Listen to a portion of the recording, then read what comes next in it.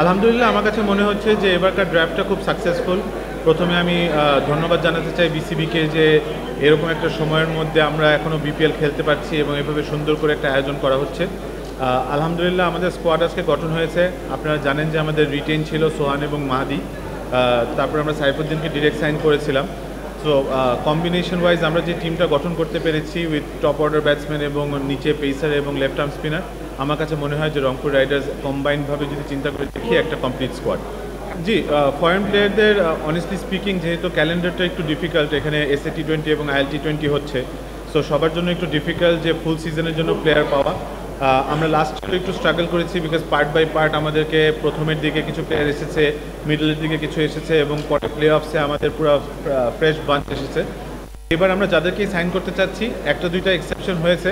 যারা একটা চারটা, পাঁচটা ম্যাচ খেলে চলে যাবে বাট মোস্টলি আমরা যাদেরকেই সাইন করব, তারা ফুল সিজনের জন্য অ্যাভেলেবল থাকলেই আমরা সাইন করব।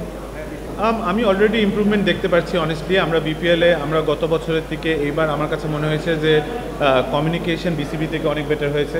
When ever we had questions তারা আনসার করতে আমাদেরকে খুব অল্প সময়ে আনসার দিয়েছে। ফ্র্যাঞ্চাইজের সাথে তারা খুব সুন্দরভাবে কোঅপারেট করছে। ড্রাফটটাও আমার কাছে মনে হয়েছে ওয়াজ বেটার অর্গানাইজড যেভাবে করে বলা হচ্ছে যে ঝাঁকঝমকভাবে আমাদেরকে বিপিএলের সময় আরও দেওয়া হবে যেভাবে করে চলে আসছে আমরা খুব আশাবাদী যে আগামী বছর না এই বছর থেকে এই সিচুয়েশন বেটার হইতে শুরু করবে এবং হোপফুলি এবারে যদি আমরা ইমপ্রুভমেন্ট দেখি নেক্সট ইয়ার ইনশাল্লাহ আরও ভালো হবে। অনেস্টলি স্পিকিং আপনারা যদি দেখেন আমরা যেহেতু ডোমেস্টিক ক্রিকেটও খেলি আমরা ডোমেস্টিক ক্রিকেটে প্রিমিয়ার লিগ খেলে থাকি এই বছর না আমরা অনেক বছর ধরে যেহেতু বিপিএল খেলছি তখন এই জন্য আমাদের এই বছরের আগের বছরেরও কিছু প্লেয়ার আমাদের টিমে ফেরত এসেছে।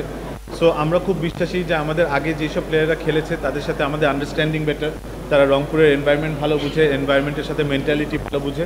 সো যেভাবে করে হয়েছে, আপনারা যদি দেখেন, খুব একটা বাইরের প্লেয়ার নেই। আপনারা যদি খুব খেয়াল করে দেখেন যে ফর এক্সাম্পল সাইফ প্রবাবলি হয়তো ফার্স্ট টাইম রংপুরের জন্য খেলছে, কিন্তু তিন চার বছর ধরে ডোমেস্টিক লেভেলে প্রিমিয়ার লিগে আমাদের টিমে খেলে আসছে।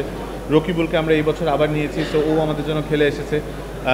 সাইফুদ্দিন আপনারা যদি খেয়াল করে থাকেন ও এখন আমেরিকায় খেলছে। আমাদের যে অ্যাটলান্ট আমেরিকান পার্টনার আছে ওখানে খেলছে। সো ওভাবে সব মিলিয়ে ওভারঅল যদি দেখেন আমরা we are very well accustom with all the players সবার সাথে আমাদের রিলেশনশিপ খুব ভালো।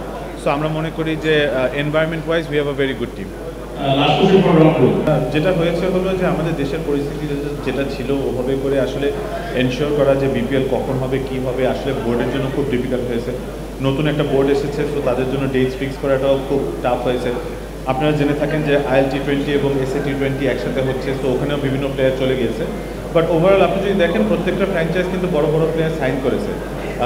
বরিশাল, আপনারা যতদূর দেখেছেন যে অনেক বড় বড় প্লেয়ার সাইন করেছে। আমরা যতগুলো অ্যাভেলেবল বড় বড় প্লেয়ার পেয়েছি ফর এক্সাম্পল ইফতেকার আহমেদ এবং খুশদিল শাহ, তাদেরকে আমরা ফুল সিজনের জন্য সাইন করেছি।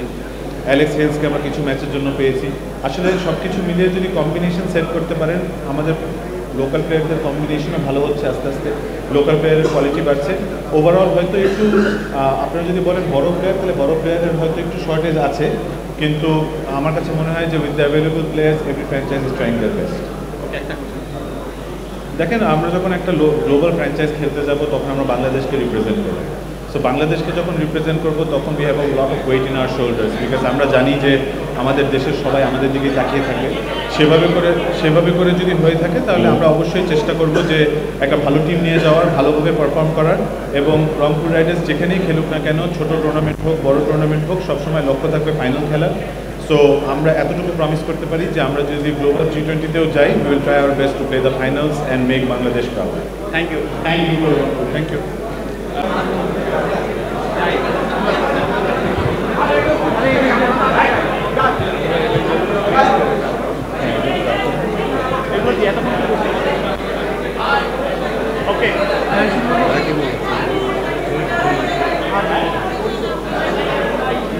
আমরা একটু কোশ্চেন নিব দয়া করে একটু হাত তুলবেন আপনারা এই কোশ্চেন করেন হাত তুলবেন ওকে প্লিজ কিপ সাইলেন্ট আমি একটু রংপুর সবাইকে একটু জি সালামালাইকুম আমার নাম Sanian Tanim team director Rangpur riders